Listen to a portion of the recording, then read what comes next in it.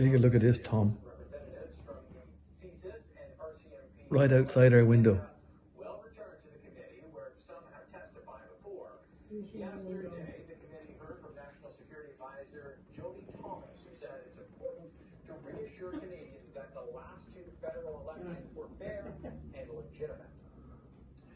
The special prosecutor is backing a decision by Crown Counsel not to lay charges against a suspected money launderer. The money laundering investigation was called E-Nationalize, one of the biggest ever conducted in BC.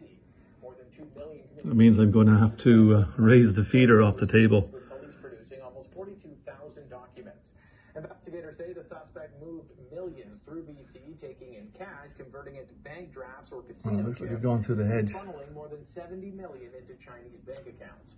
Prosecutors declined to lay Oh, charges, though, arguing there was